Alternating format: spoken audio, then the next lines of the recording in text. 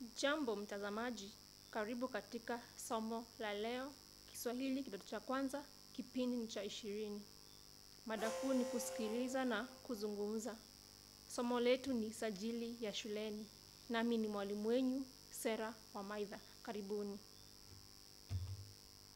Kufikia mwisho wa kipindi ama lengo la somo letu, mwanafunzi aweze kufanya nini? Kufikia mwisho wa kipindi, mwanafunzi aweze moja, kueleza lugha ya mazungumzo ya shuleni. Pili, kufikia mwisho wa kipindi, mwanafunzi aweze kutaja sifa za sajili ya shuleni. Mazungumzo shuleni. Mfano wa mazungumzo katika shuleni. Kuna mwalimu Bili na mwanafunzi Auma. Bili: masalkheli Chebisi. Auma anajibu, alkheli mwalimu. Bitoili, umeshindaje na unaendelea vipi masomoni? Mwanafunzi Auma, nimeshinda salama salimini mwalimu. Najaribu kujiandaa vilivyo ili ni upasi mtihani ujao. Mwalimu Bili naye, je, umesoma ngeli zote za tamthilia ya Kigogo?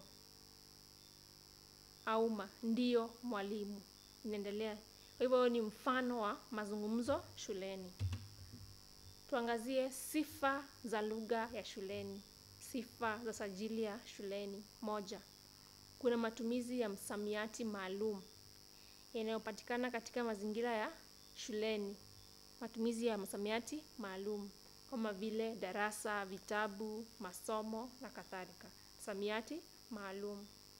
Pili, ni lugha yenye heshima kutokana na tofauti baina ya mwalimu na mwanafunzi. Ni lugha yenye heshima kutokana na tofauti baina ya mwalimu na mwanafunzi.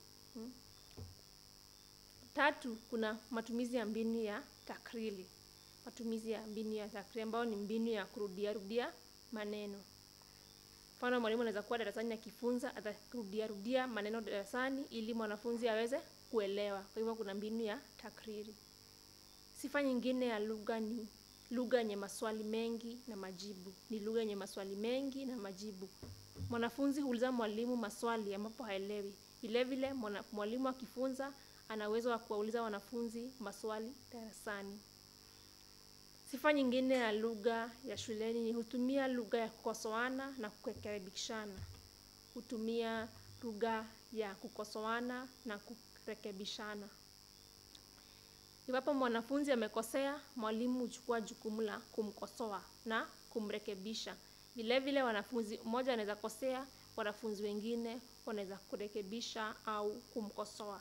Kwa hivyo hizo ni sifa za lugha ya shuleni ama sajili ya shuleni. Kuna msamiati maalum, kuna lugha ya heshima, kuna matumizi ya mbinu ya takriri, kuna lugha yenye maswali na majibu, kuna matumizi ya lugha ya kukosoana na kurekebishana. Vile vile kuna matumizi ya lugha ya heshima.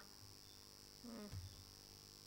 Kwa marejeleo zaidi kuhusu sajili ya shuleni, narejelea kitabu cha Kiswahili Kitukuzwe, kidato cha kwanza, kitabu cha mwanafunzi toleo la tano.